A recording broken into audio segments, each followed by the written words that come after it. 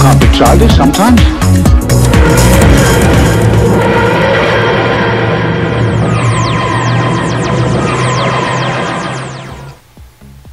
Hi, everyone. Welcome to episode 62 of the Omega Podcast. I am Wes, and today we're going to be looking at the new Doctor Who encyclopedia on the iPad. Alright, let's take a look at this brand new app for the iPad. We'll click on the icon. Now, the Doctor Who encyclopedia only does cover the Doctor Who universe up through the, the 9th, 10th, and 11th Doctor.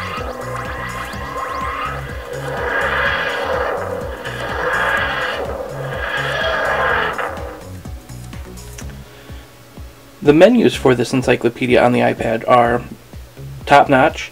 Um, as you can see that they do have the doctor, the objects, allies, um, laces, places. Here's the welcome screen. If you do want to see who the credits are, um, you can see that it was by BBC Books and Brandwidth. Kind of goes over general things on here.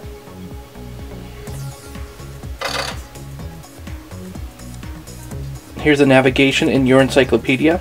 On here we can see that you have the three doctors that are covered within this encyclopedia. The 11th, the 10th, and the 9th. Let's make them sick. Across the top you see that we do have the doctor, allies, enemies, places, objects, galleries, all laid out very nicely. Let's go to the doctor. Now the scrolling menus across this app are done extremely well. Um, just general information on here, but it really makes it fun just to kind of scroll through and see all the information that they do have in here. If you're looking for information on the Time War, click on that. You can easily scroll through and read, uh, read about it. Want to find something else? Click. You can bring that up.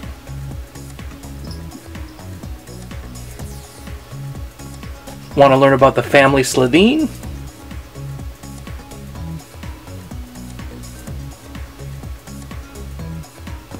Here's the doctor. You can add that to your favorites for easier finding. Here's the TARDIS.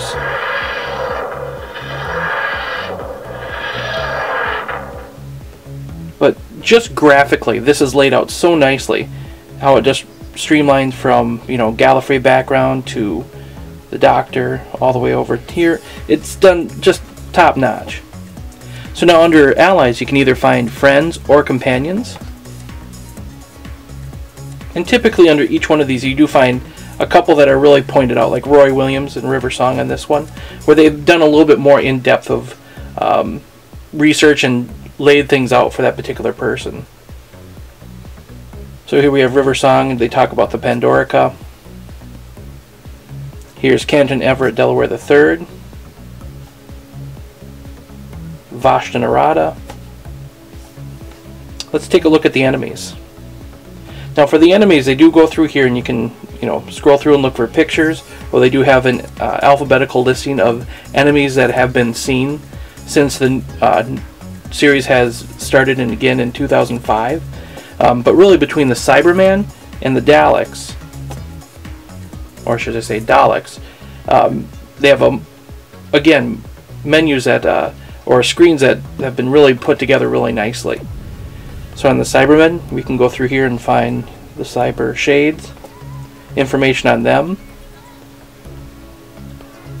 Miss Hartigan, um, different Cybermen. Here's the Pandorica Alliance. They talk about that even go back and talk about John Lumic, who created uh, this universe of Cybermen. The Cyber King, information on that. Done really well. I was a little bit surprised to see that they had um, Craig listed in here. He was in one episode. Um, just I thought it was kind of odd to have him in here. I know Miss Hartigan was in one episode as well, but um, didn't I thought they could maybe find another um, piece of Cyberman history that would kind of fit in here. They just kind of felt like they threw Craig in there because he was just in one of the most recent episodes with them. We'll hit back. See if we want to go to places.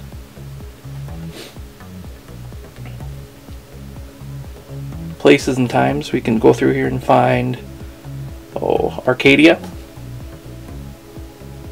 Kind of information on here. They will, if they do have a picture of it, they'll show a little photo icon or a camera icon. Here's Area 52.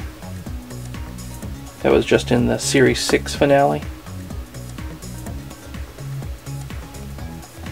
Just a lot of fun. It makes reading through it a lot, uh, it, it, makes it interesting.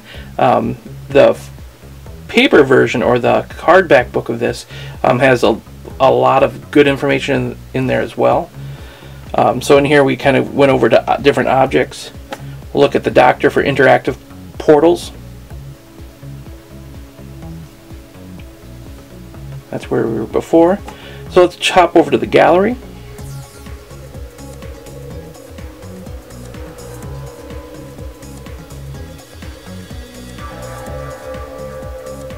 A lot of the pictures that you probably found on the website when the series was going on. Some of them, um, they haven't been listed before, at least that I have not seen. So, just a lot of fun. Now, if you're looking for information on series, there's a series button here on the main page.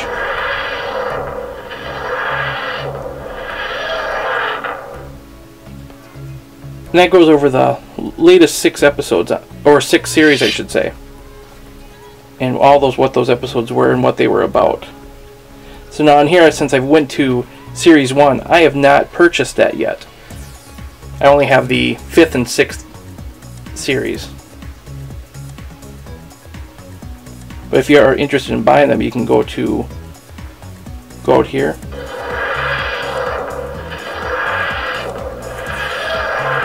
And as you can see, you can have the 10th Doctor for £4 and 99 cents. I believe the Ninth Doctor costs that much as well.